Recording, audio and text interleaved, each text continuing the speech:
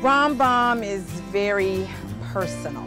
They're very united, and I like that. I love their community. I love how they come together, and I love how the children are with, with each other. I wouldn't change anything about Rambam. I feel that we provide a safe learning environment for all of our students.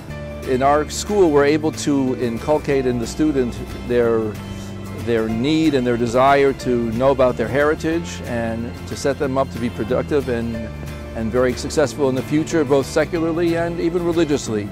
Uh, I think that kind of opportunity is rare and we have that, we can do that here with, our, with what we have here in the building, with our staff and, and all the surroundings. Uh, and that's, uh, that's something really to be looked at by other people. I've been here 22 years and a lot of the children that I taught have now grown up and they have their children at Rambam and it's very um, exciting to see how that family connection remains the same. I like learning in Rambam so that when I go home, I can tell my mother, and when I grow up, I could be better at learning stuff and telling my kids about that. The thing that I like most about school is handwriting, because through handwrite, I'm happy that I go to school every day. Miss List and Rabbi Gordon are very nice. I like seeing them every day. Rabbi Gordon is funny when he says things like well, he makes jokes and he tells us funny stories. If I ever get a bad grade on a test or I'm struggling in school, they sit down and help me. Or they give me a chance to correct something and go over with it with me so I know how to do it right. They always help me and they teach me very well and take good care of us. I know they care about me because they're like always asking me questions like, do you feel well? Like, are you fine? Like, and if, and if they ever see me like feeling down, they'll start asking me questions.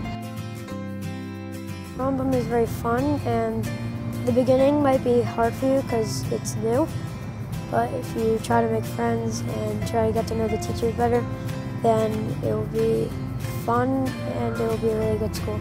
Something that Rambam taught me is that I should have so much pride toward my Jewish heritage and not just that I should follow the customs but learn about where the customs come from and why we do them and I just think that that is a beautiful lesson and it is something that I absolutely always carry around with me and that I'm very, very proud to share. I'm not positive that uh, I would be who I am today had I not attended Rambam. It gave me a solid Jewish foundation, which is very important to me, and I'm still passing that along to my children. My fondest memory of Rambam would be just the genuine friendships that were made that have kept in touch throughout the years with the girls. Um, and we meet, I would say at least once a season. We've been pretty consistent. Looking back at it, I'm uh, really super, super thankful for the individualized learning that we could have. Like, depending on uh, what I needed or what I needed to learn, really all the teachers were there for me and really uh, taught me the way I need to be taught and to teach each student the way they need to do. So really thank you so much for that.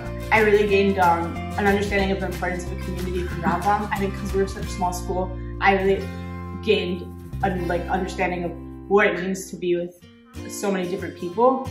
Um, and I really just really the people that I met in Rambam are really my friends to this day and like some of my closest friends and I think that was really amazing.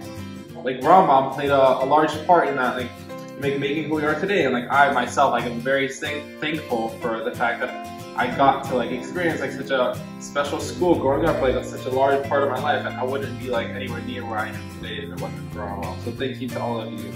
If I have to pick one thing that I've loved about Rambam, it has to be the sense of community that we have here.